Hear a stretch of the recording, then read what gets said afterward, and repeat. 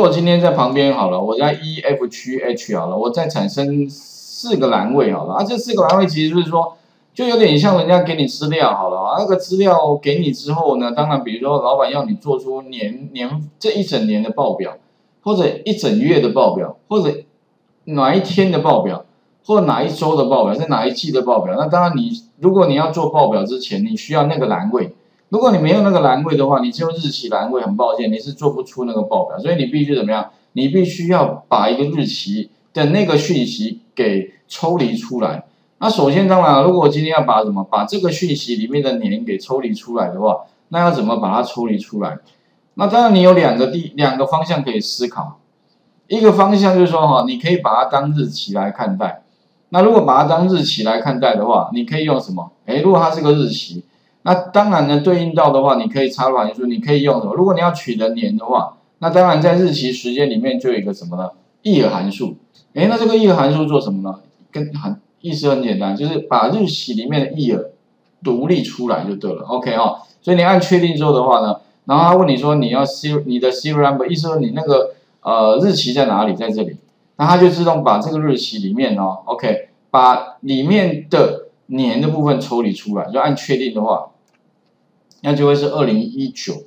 不过如果说你想要显示是民国年的话，你可能要自己做一点计算嘛。那怎么样？再减掉多少呢？一九一啊，因为它 year 啊，它不是 year 回来，绝对不会是民国年的，因为是美国人设计，他根本完全不知道民国年这回事。所以如果说你要把它变成民国年的话，你变成要减一九一。但如果你剪剪完之后，它原它很麻烦的地方，它如果曾经放过日期格在这里面的话，它就会怎么样？就会把它当日期格式。所以怎么办呢？你必须还要再多做一个动作，把它改回什么呢？改回通用格式，按确定，就会变成我们要的结果了。也就这个储存格啊，如果曾经放过日期，它就自动帮你改成那个年月日的格式了。OK，好，所以啊，你要多做这件这个动作。好。那再来的话，月的话怎么办？哎，顾名思义嘛，有 year，那一定有什么？哎，month 所以哦一样啊。所以如果你要取得哪一个日期，就是日期时间里面的 month，然后你就给那个 serial number 啊一样，这个应该就比较没问题。十二月几号的话呢？那哎有 year 有 month 天的话呢？那顾名思义嘛，就有个 day，d a y 有没有？day，OK，按确定，好。那当然你不要用 days 哦，days 是嗯总共间隔的天数，还有呢还有一个这边有一个叫什么 eo months 有没有？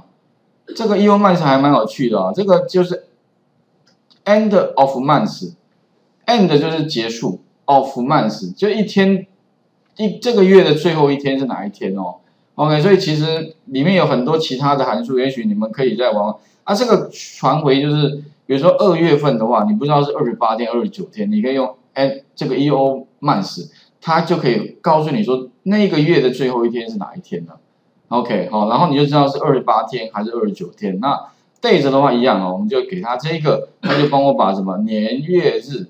那周期的话呢，顾名思义哦，你可以什么？可以用那个什么呢？weekday，OK。不过呢，这个 weekday 的话呢，哈，哎 weekday 我们看 weekday 周期。那你按确定之后的话，你给这个日期按确定，但会问题啊，它回来会是二，哎，二，今天礼拜几？今天礼拜一，哎，为什么是二？OK，这边说一，那你想说应该是回来是应该是周，应该是一才对啊。好，跟各位讲一下啊，因为哈一样的道理，因为这个呃这个 Excel 是美国人设计的，所以呢，他们认为一周的第一天跟我们认知的第一天应该是不一样的吧？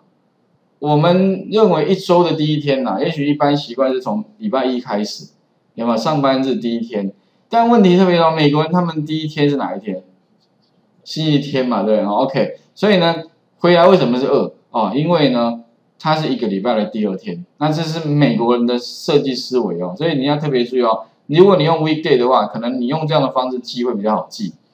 但问题你想说，老师，那可不可以我不要变成那个二？我要变周几的话，有没有办法一样嘛？当然可以，只是说你要多做一个动作，就是你要再把储存的格式怎么样，再用日期里面的什么日期里面的周期，有没有按确定，它里面就出现周一了。